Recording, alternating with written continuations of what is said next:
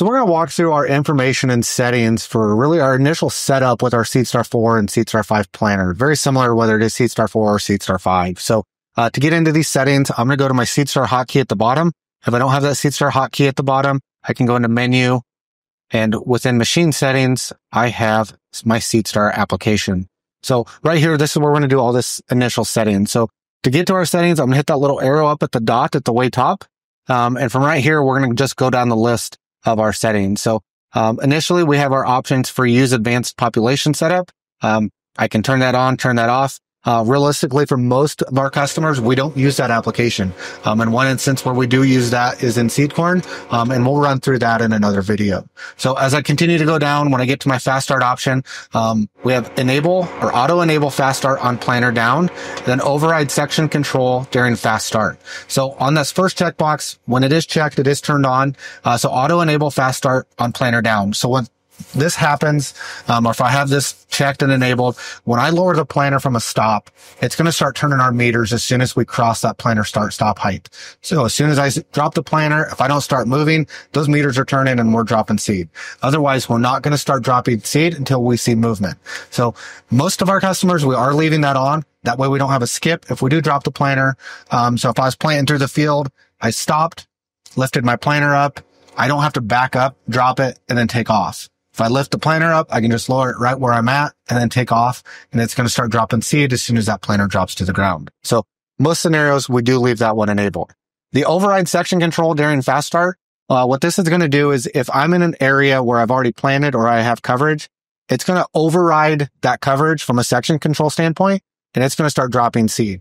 So it will enable seed. We will see those spots if we were in the headlands and we drop the planter. It is going to drop seed there if we've already planted that area. Um, most scenarios we do leave that on.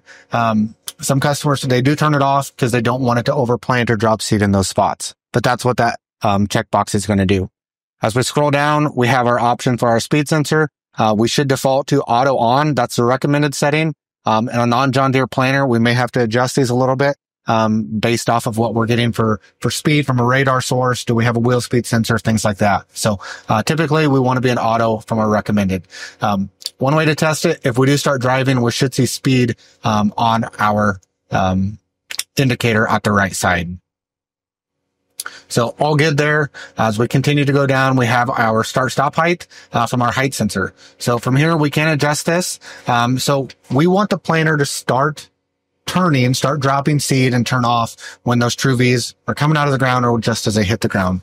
So from here, if I lower my planter to the ground, my true V's are just starting to touch the ground now. So I can set this to that 37% point, um, and that's where that um, setting will start and stop at this point. So was it 40? It's going to end up at 37. So not much adjustment there.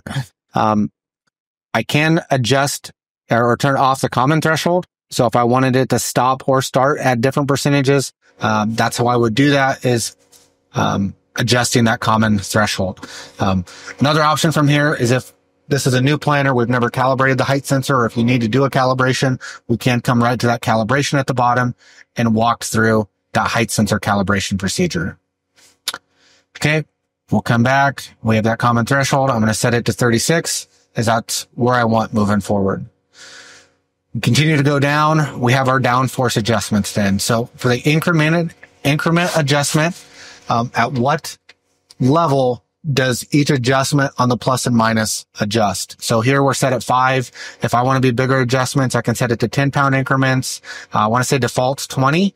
Uh, to me, that's a little higher than I want. I want to see that at five so I can fine tune that more as I run through the field our pause timer. So if we are running through the field, we have a change in condition and we want to pause our system. So it doesn't make any adjustments. When we hit pause on our downforce page, that's how long that timer is actually going to run.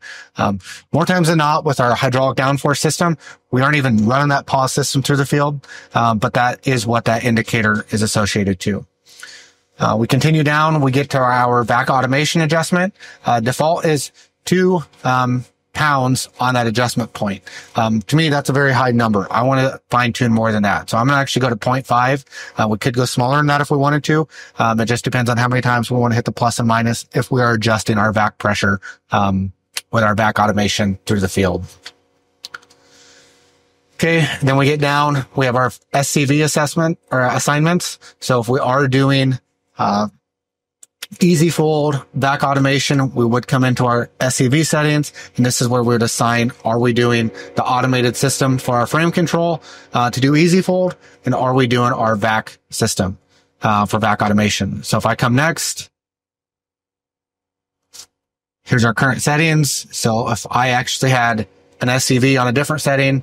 Um, so if I had to swap, uh, if I was having issues with an SCV and I needed to move SCV to an open SCV, I could do that and move them uh, from that assignment standpoint. So this is where we're going to adjust those assess assignments so we know those vacs on three and four in this instance. We're just going to cancel out of that application and continue down. So with our closing wheels, then we can come down and we can actually disable any of those groups. Um, I mean, I'm not sure in what aspect we would actually want to turn them off. Um, but here we want to make sure those are on so they actually do have control um, within our run within our run pages for our uh, closing wheels. Then we also have the option for the alarm notification at the bottom. So if we are having or in uneven terrain and we're seeing those airbags change position quite a bit, um, we can see some low pressure alarms as those bags um, expand and, and, things like that. So if those alarms are getting annoying, we can turn them off uh, depending on the group. Um, just know you won't have any alarms then um, if we do have airlines come off, things like that um, going forward. So I would recommend leaving those on all the time. Um, our CCS system. So a few things here. Uh, we can turn the on and off if we want our blower blowing. And then also for our agitation, um, if I was doing a test plot and I didn't want my agitators moving, I can actually disable them from here. Um, same thing with that CCS blower. And the other one, the other common setting is uh, notify notification of rows that are not planting due to section control. So we see a lot of sliders come down as we plant into our headlands. If this is turned on, um, if section control is turning off rows and rows aren't planting because of it, do we want those notifications or not? So with this enabled, we will see that slider come down at the top and tell us that these rows aren't planting due to section control. If that's kind of a nuisance thing that, yeah, I obviously know I'm over this planted area and they're not planting. If you don't want to see that message, you can go ahead and turn that off. So those are our basic settings for our SeedStar 4 and SeedStar 5 planters. Um, once that setting is done, that will stay until any of those settings are changed uh, from the operator